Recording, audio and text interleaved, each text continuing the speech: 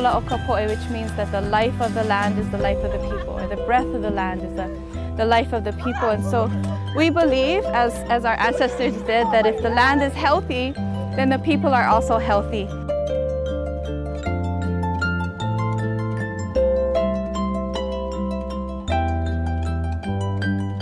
I did this um, because my teacher, Mrs. Maya Soetoro, she certified these trees for us as a senior gift to our class.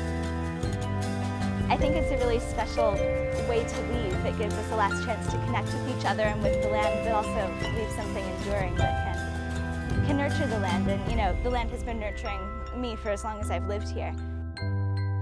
There's also learning that takes place when you're on the land that you can't quantify with numbers.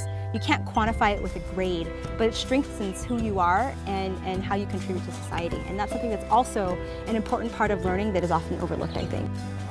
It's a very hands-on experience, so it's like alternative education, really, which we all really enjoy.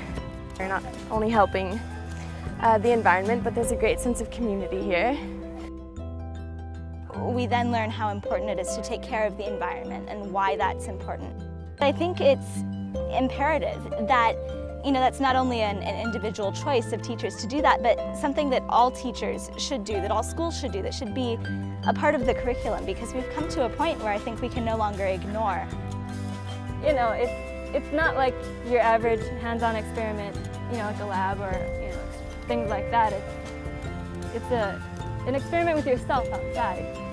It's very educational for me because I'm usually a crackdown book person. I learn from books, I learn from my teachers, I'm, a, I'm classroom oriented. So to get the hands-on experience is a good opportunity for me. And it's something that, you know, I never took part in before, and so my first time.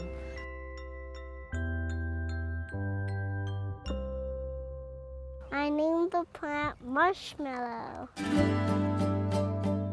I planted the plant when it was in the pot. I took it out and loosened its weeds and I put it in the ground.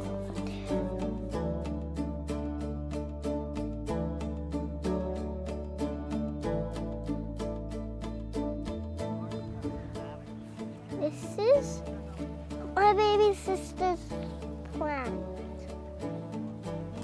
Savita's plant. Yay! Mahalo ia oe ke kua mana loa i loko kalani.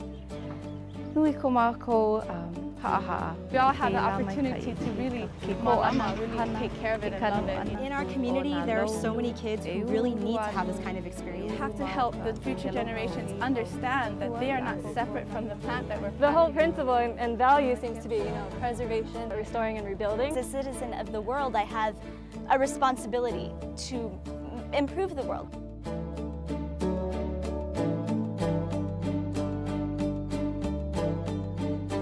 That sums up this experience. It's fun, educational, and it's just good for every part of you. yeah.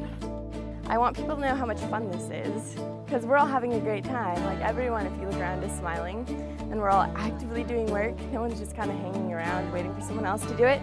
So once you get out here, it's really worth it.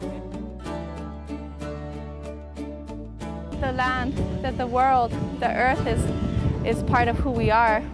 And once, if we take care of that, then we're taking care of ourselves.